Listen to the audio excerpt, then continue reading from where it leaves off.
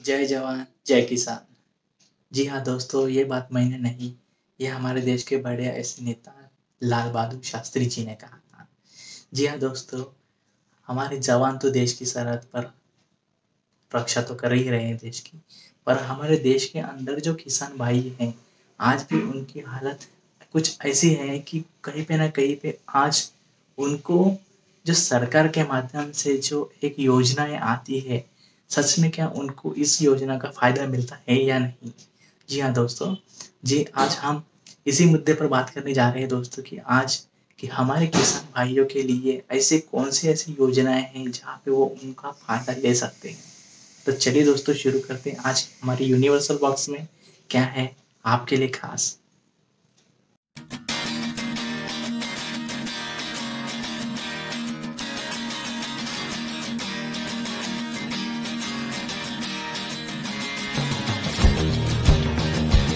हाँ दोस्तों, हमारे किसान भाइयों के लिए जो सरकार से जो कहीं पे ना कहीं हर साल, हर बजट में एक योजनाएँ लागू होती हैं, योजनाएँ प्रदान की जाती हैं।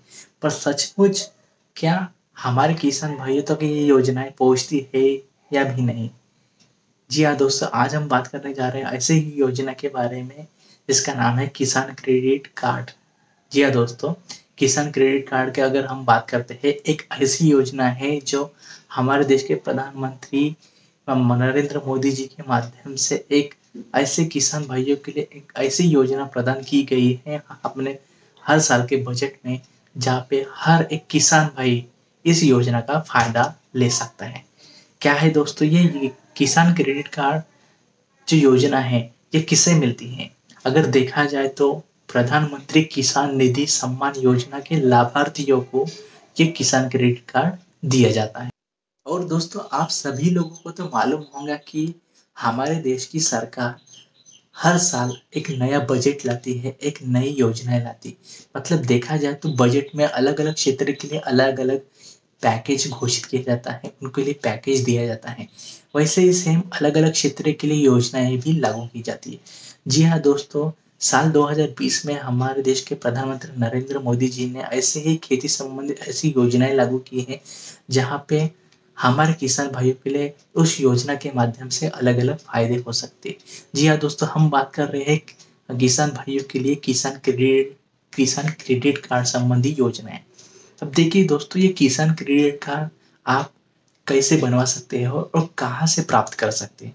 तो देखिए दोस्तों, ये किसान क्रेडिट कार्ड जो है, वो आपको आपके नज़दीकी नेशनलाइज बैंक में से वो आप प्राप्त कर सकते हैं। देखिए, इसकी सिंपल सी प्रोसीजर है दोस्तों। यहाँ पे आप देख सकते हैं कि आप, आपके नज़दीकी बैंक में जाकर उसके बैंक मैनेजर से इस संबंधी पूरी जानकारी ले सकते हो। अगर देखा जाए तो पूरी जानकारी वो आपको दे देते हैं। उसके ऊपर आपको कुछ, ज़्यादा कुछ नहीं करना पड़ता है। देखिए दोस्तों, वहाँ पे आपको एक, आपके आधार कार्ड की फ़ोटो कॉपी देनी पड़ती है, तीन फ़ोटो देने पड़ते हैं और साथ में आपके खेती संबंधित कुछ दस्तावेज़ भी देने पड़ते हैं, जहाँ पे आपको पूरे पूरे पूरे, पूर इस संबंधी योजना के बारे में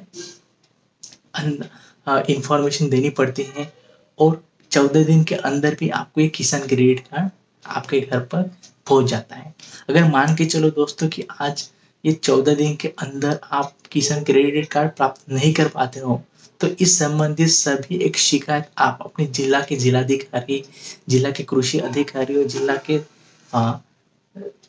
एस डी एम दंडाधिकारी के पास भी आप ये शिकायत दर्ज करा सकते हैं। दोस्तों, आप सभी लोगों को मालूम हो तो होगा कि आज जो भी सरकार आती है, वो हमारे किसान भाई के नई नई योजनाएँ तो लाती हैं। पर आपको मालूम है क्या, कहीं पे ना कहीं पे ऐसे बहुत सारी योजनाएँ होती जहाँ पे एक एज लिमिट का क्राइटेरिया होता है। मतलब एक उम्र की एक क्या होती है, नियम होता है। मतलब अब इस किसान क्रेडिट कार्ड के संबंध अगर योजना की अगर हम बात करते तो यहाँ पे आपको ऐसी साठ साल की उम्र की ज़रूरत नहीं है। पर अगर आप इस किसान क्रेडिट कार्ड संबंधी योजना अगर किसी प्राइवेट बैंक में से अगर इसका फ़ायदा उठाते हो तो सही पे इस पे आपको कम से कम साठ साल की उम्र तक का क्या है? पाबंदी है। मतलब एक तकाजा है कि साठ साल की उम्र तक का एक इंसान एक निजी और प्राइवेट बैंक में से इसका फ़ायदा ले सकता है। अगर सार्वजनिक या पब्लिक सेक्टर बैंक से अगर इस किसान क्रेडिट कार्ड का अगर फ़ायदा लेते हो तो यहाँ पे उम्र की कोई ज़रूरत नहीं है। मतलब अठारह साल के ऊपर का कोई भी किसान भाई अपना इस किसान क्रेडिट कार्ड योजना की क्या ले सकता है? फ़ायदा ले सकता है। अब देखिए दोस्तों, यहाँ पे उम्र की ऐसी कोई ज़रूरत नहीं। अगर हम इस किसान क्रेडिट कार्ड की अगर इसके फ़ायदे की अगर बात करते हैं तो यहाँ पे इस योजना के अंदर ऐसे बहुत सारे फ़ायदे हैं जहाँ पे देखा जाए तो हमारे किसान भाई के लिए एक जरूरतमंद और एक लाभदायक साबित होता है।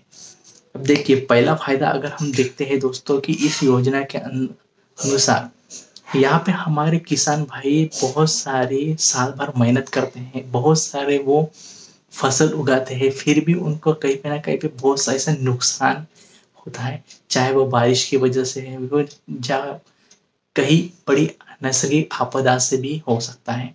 पर उनके लिए एक ऐसे भी फ़ायदे इस किसान क्रेडिट कार्ड के माध्यम से हैं, जो पहला है कि यहाँ पर हमारे किसान भाइयों के लिए किसान क्रेडिट कार्ड के माध्यम से सस्ते दाम पर क्या मिल रहा है? आपको बैंक से कर्जा मिल रहा है दोस्तों।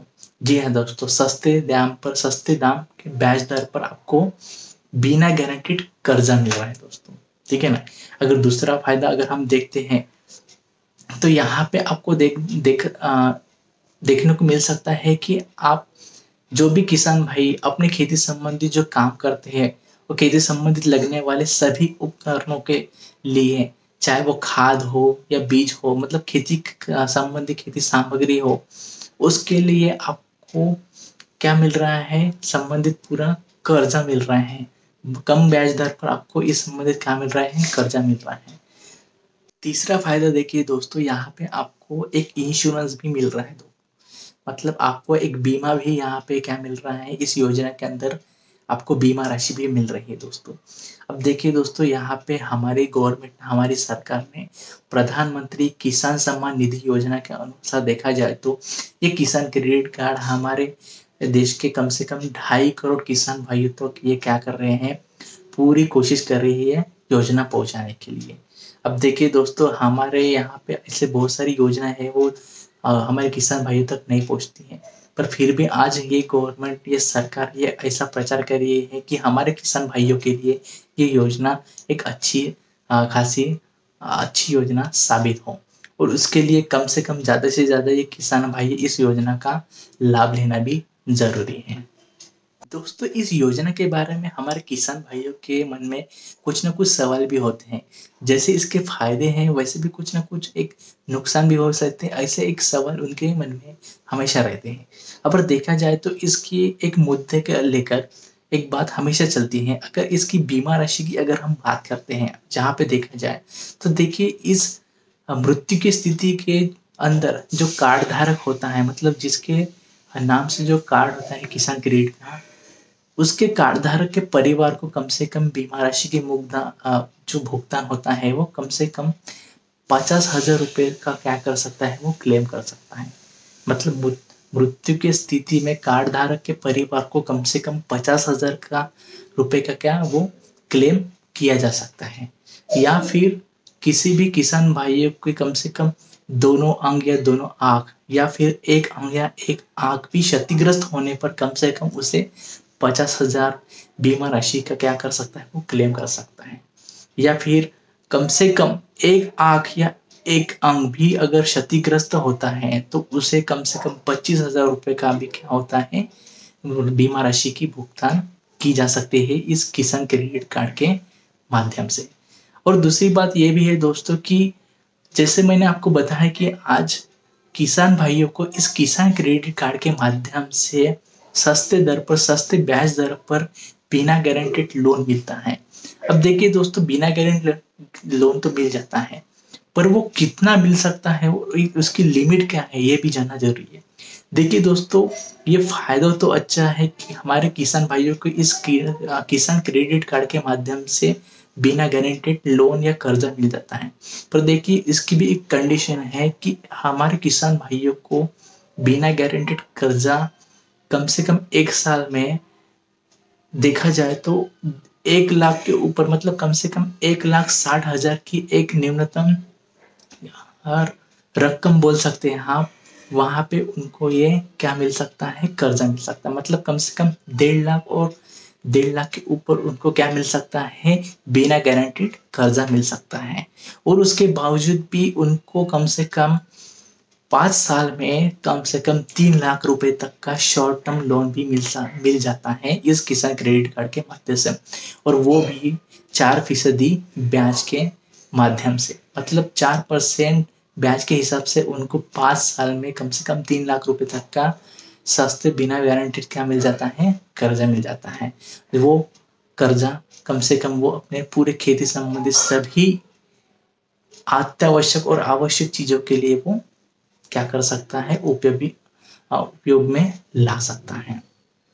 इस योजना के अगर हम फ़ायदे की अगर बात कर सकते हैं तो हमारे से भी एक किसान भाई ये भी इस योजना का फ़ायदा नहीं लेते, बल्कि बाकी भी किसान जो मान के चलो पशुपालन व्यवसाय से भी संबंधित है और जो मत्स्य पालन व्यवसाय से भी संबंधित किसान हैं, वो भी इस किसान क्रेडिट कार्ड का क्या लग सकते थे? फ़ायदा ले सकते हैं।